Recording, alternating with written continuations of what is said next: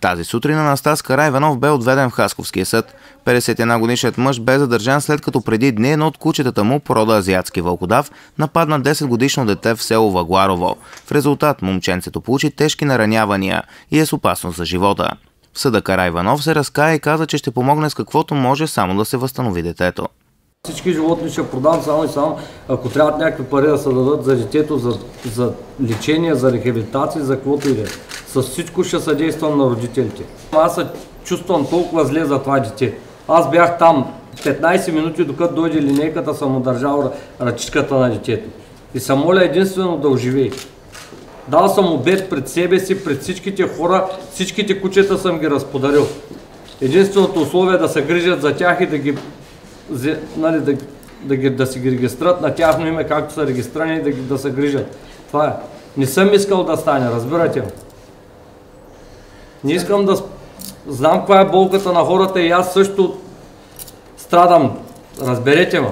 Постоянно и ние се интересуваме детето как е. Дете да мислите, че, че ни е безразлично и сме някакви чудовища и 51 годишната Настаз днес заяви, че има 6 кучета, макар хората от Вагларово да твърдяха, че са повече. Мъжът отрече животните да се отглеждат за боеве. Той допълни, че въпросното куче е нападнало детето, до този момент не е проявявало агресия. Относно оплакванията на съселените му, Настас Карайванов заяви, че те са на личностна основа. Кмета има лично срещу мен. Какво? Защото имам къвги с него. На каква къвги, основа? На основа. На основа. От много години. И сега му дойде дюшещ то инцидент, да, да се възползваме от нещастието на хората, за да се разправи с мене. Е, това е цялата истина. Анастас Карайванов заяви още, че не се страхува да се завърне в селото. Страхува се единствено за живота на детето. От прокуратурата днес поискаха на 51 годишният мъж да му бъде наложена най-тежката мярка за неотклонение – задържане под стража.